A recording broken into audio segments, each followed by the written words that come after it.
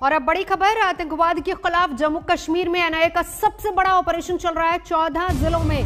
पैंतालीस जगहों पर एनआईए की टीम लगातार छापामारी कर रही है। जमात इस्लामी से जुड़े हुए कुछ और लोग हैं जिनके ठिकानों पर छापामारी हो रही है।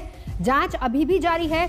खबर जो मिल पा रही वो ये कि गृह मंत्रालय को खुफिया एजेंसियों ने ही जानकारी दी थी कि जम्मू कश्मीर में जमात इस्लामी की ओर से लश्कर, जैश, हिजबुल मुजाहिदीन को भारी फंडिंग करने का प्लान है। सूत्रों के मुताबिक जमात इस्लामी के कुछ लोग पाकिस्तान की खुफिया एजेंसी के ज़रिए दुबई, तुर्की के रास्तों से आतंकवाद के लिए फंडिंग ला रहे हैं।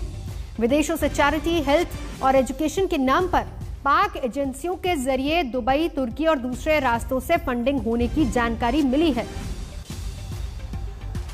इसीलिए चौदह जिलों में 45 जगह जहाँ पर एनआईए की छापामारी लगातार चल रही है। टेरर फंडिंग का यह पूरा मामला सबसे बड़ा ऑपरेशन एनआईए का इसमें ज़्यादातर इलाके दक्षिण कश्मीर के बताए जा रहे हैं। जमात इस्लामी, जिसके तमाम ठिकानों पर छापामारी चल रही है, हालाँकि इसको 2019 में ही बैन कर दिया गया था। टेरर फंडिंग का यह पूरा मामला है।